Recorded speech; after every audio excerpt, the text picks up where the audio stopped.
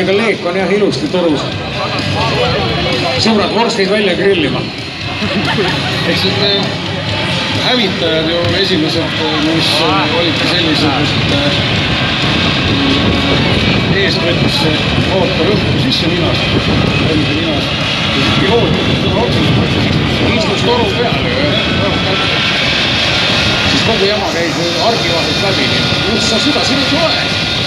temperatuur tõusis mõnusalt. Nii.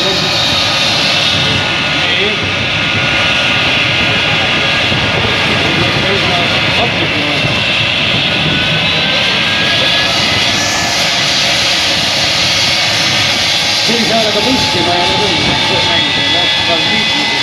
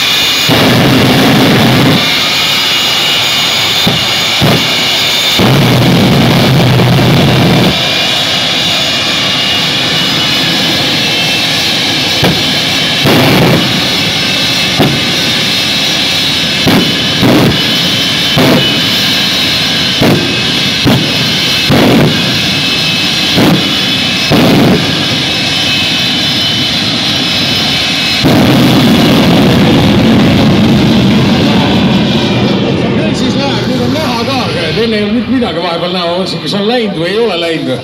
ja umbes kahe või kolme sekundiga hoiti seda gaasi peal ja siis oli sellega oli sellest läbi.